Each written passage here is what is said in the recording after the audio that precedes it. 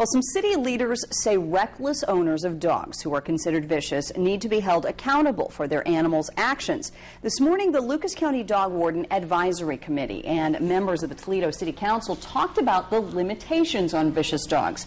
Councilman Mike Collins says he thinks in the future that police officers need to be trained in animal control so that they know what to do. Collins says there are also a lot of stereotypes when it comes to vicious dogs. I firmly believe that it's the irresponsible owner that we first have to focus on. Now, granted, with any animal, you're going to have a certain segment of a population that's adverse to domestic circumstances.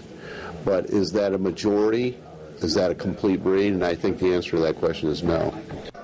There's also talk of sterilizing vicious dogs.